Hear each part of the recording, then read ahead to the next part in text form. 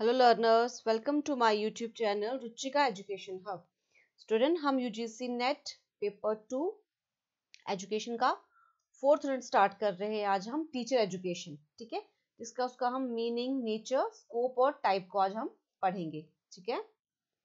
सबसे पहले बात कर लेते हैं मीनिंग की, कि टीचर एजुकेशन होता है, क्या है, ठीक है?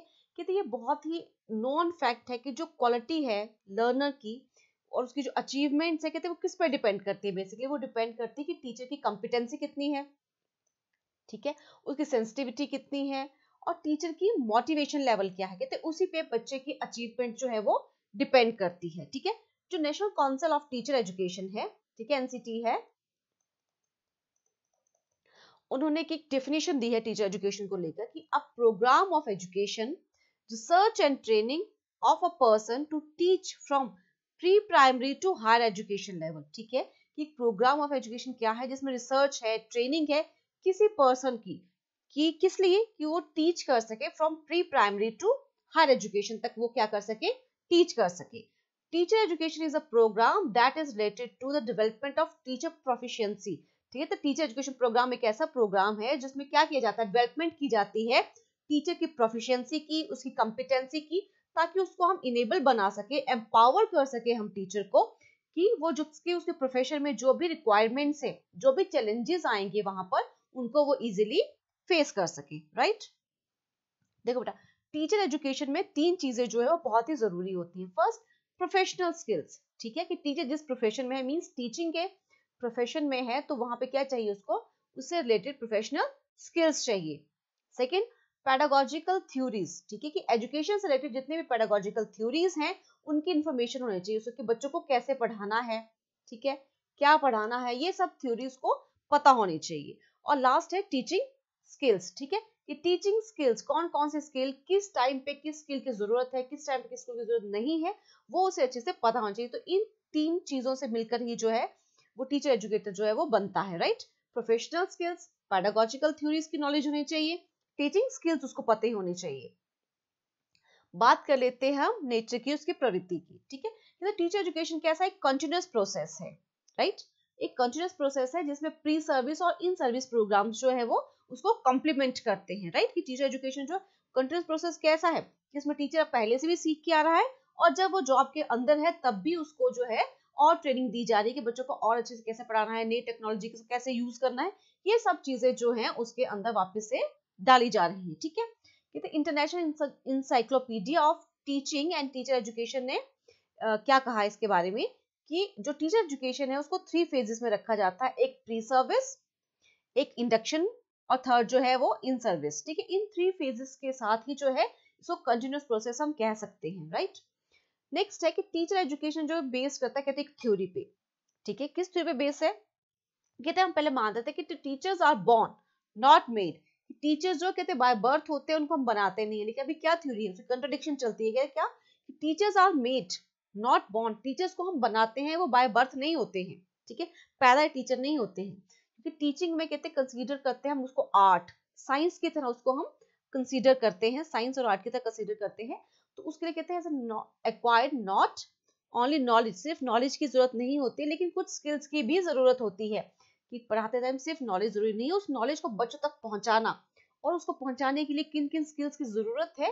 These are called the tricks of the trade means उस ट्रेड के फिट होने के लिए जो ट्रिक्स चाहिए, वो हम टीचर्स को सिखाते हैं राइट कहते हैं टीचर एजुकेशन जो एक ब्रॉड और कॉम्प्रिहेंसिव कॉन्सेप्ट है, ठीक है? इसमें pre service in service program होते हैं, ठीक है? इसमें इन्वॉल्वमेंट होती है वेरियस कम्युनिटी प्रोग्राम्स की, ठीक है? जैसे कि अडल्ट एजुकेशन हो गई नॉन फॉर्मल एजुकेशन प्रोग्राम्स हो गए लिटरेसी हो गई डेवलपमेंटल एक्टिविटीज़ हो गई सोसाइटीज की, ये सब चीज़ें भी जो किसमें आ जाती हैं? टीचर एजुकेशन में ही आ जाती हैं ओके कहते it is a ever evolving और डायनामिक प्रोसेस है, ठीक है? In order to prepare teacher who is competent to face the challenges of the dynamic society ठीक है? कि हम क्या करते हैं? टीचर्स प्रिपेयर करते हैं, जो इस सोसाइटी के चैलेंजेस को फेस करने के लिए बनाए जाते हैं, ठीक है? ये जो सारा सार किसको कहते हैं crux of the entire process of teacher education किस किस पे डिपेंड करता है, इसके करिकुलम पे करिकुलम डिज़ाइन पे स्ट्रक्चर कैसा है ऑर्गेनाइजेशन कैसी है, इन सब चीज़ों पे जो है, कहते हैं टीचर एजुकेशन प्रोग्राम जो है वो, उसका जो सार है, कहते हैं, वो उसी में छुपा रहता है, ठीक है? इसके अलावा कहते हैं टीचर एजुकेशन प्रोग्राम जो है, ये वो डिफरेंट स्टेजेस में काम करते हैं राइट डिफरेंट स्टेजेस में, जैसे कि प्री प्राइमरी हो गया प्राइमरी हो गया सेकेंडरी हो गया हायर एजुकेशन हो गया डिफरेंट डिफरेंट स्टेजेस पे जो है ये काम करते हैं राइट और इसके लिए उनको डिफरेंट डिफरेंट जो लेवल की जो प्रिपरेशन जो है वो करवाई जाती है, ठीक है? इसके अलावा कहते हैं ये क्या है? इसमें जो है बेसिकली आप क्या कह सकते हैं कि जो gestalt emerge from the conceptual blending means basically blending होती है कि होल टीचिंग आती है, इसमें नॉलेज आता है स्किल्स आती हैं, बाकी सारी एक्टिविटीज़ के साथ जो है आप कोनेटिव डिसिप्लिन के साथ जो है, कहते हैं प्रोफेशनल जो टीचर है उसको ग्रोथ मिलती है राइट कहते हैं कि एक ऐसा सिस्टम है जो इन्वॉल्व करता है इंटरडिपेंडेंसी ऑफ़ किसकी? इनपुट क्या था? प्रोसेसिंग क्या रही? और उसकी आउटपुट क्या है, ठीक है? तो ये थी हमारी nature of teacher education next हम बात करेंगे स्कोप ऑफ़ टीचर एजुकेशन ठीक है? टीचर एजुकेशन जो है डिफरेंट लेवल पे जो है वो काम करता है। फ़र्स्ट है डिफरेंट लेवल्स डिफरेंट लेवल्स क्या क्या आएँगे इसमें? जैसे आ जाएगा हमारा pre primary primary education secondary then higher education ठीक है? तो ये क्या डिफरेंट लेवल्स हैं? कि स्कोप कहाँ है? मींस कहाँ कहाँ पे जो टीचर एजुकेशन का काम हो सकता है? Pre primary primary, secondary, higher education, इन सभी लेवल्स पे जो है टीचर टीचर की ज़रूरत पड़ती है, ठीक है? सेकेंड है triangular basis of teacher education means क्या है? थ्री बेस है कहते टीचर एजुकेशन के। थ्री बेसिस है। First is philosophy second is sociology. And third is psychology. ठीक है? फिलोसफिकल बेसिक मीन जो स्कूल ऑफ़ फिलोसफी है एंशियट मॉडर्न फिलोसफी क्या थी, उसके बारे में जो है वो बताया जाता है। साइकोलॉजी में मीन्स बच्चों को कैसे समझना है, उनकी अंडरस्टैंडिंग कैसे करनी है, उनकी डेवलपमेंट कैसे करनी है, ये समझाया जाता है।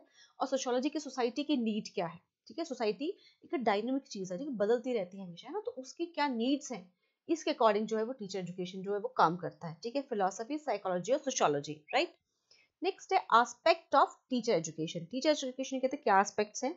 एक ही काम करती है हु पे। मींस कौन पढ़ा रहा है?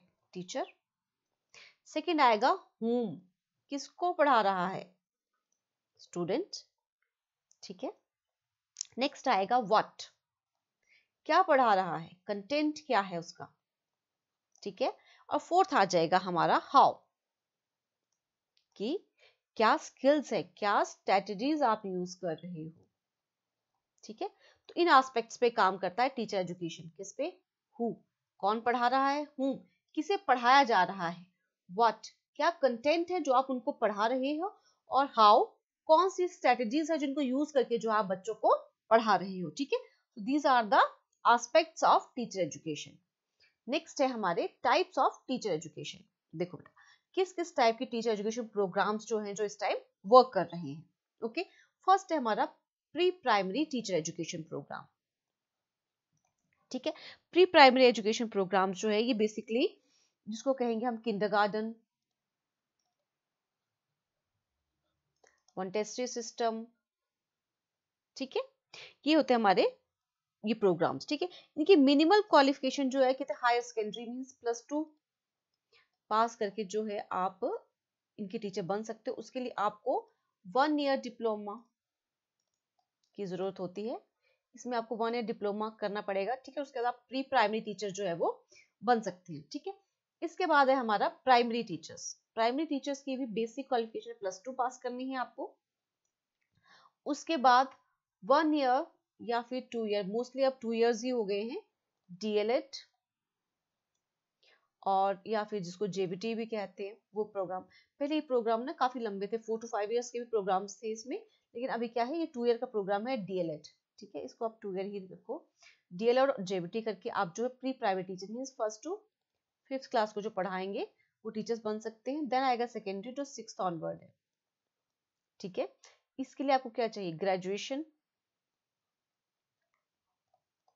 ठीक है, इसके बाद टू ईयर बीएड प्रोग्राम ठीक है? उसके बाद आपकी जो भी टैट वगैरह चाहिए आपको दैट इज़ अ क्वालिफिकेशन और हायर एजुकेशन की बात करें हम तो मीन्स अगर आप मान लो, अगर आप सिर्फ़ कॉलेज लेवल की बात करते हो तो आपको graduation plus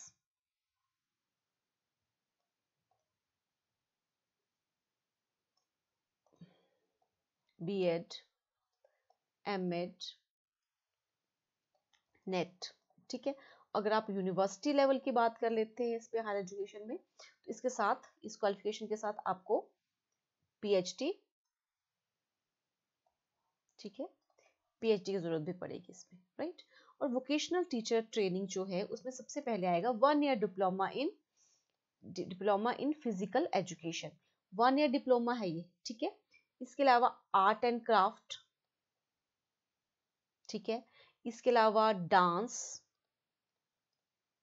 म्यूज़िक, ठीक है, इन सब के टीचर बन सकते हैं आप। उसके अलावा होम साइंस, ये हमारे वोकेशनल वाले में आते हैं, ठीक है? होम साइंस, ठीक है? ये सब की जो है वो वोकेशनल टीचर ट्रेनिंग जो है वो होती है। इन वोकेशंस पे आप जो है वो टीचर जो है वो आप बन सकते हो राइट आई होप आज का टॉपिक आपके लिए हेल्पफुल रहेगा। प्लीज़ लाइक शेयर और सब्सक्राइब कीजिएगा। जिन्होंने अभी तक नहीं किया और बेल आइकन को ज़रूर दबा दीजिएगा ताकि सारी नोटिफिकेशन आपको टाइम टाइम मिलती रहे। Thank you and have a nice day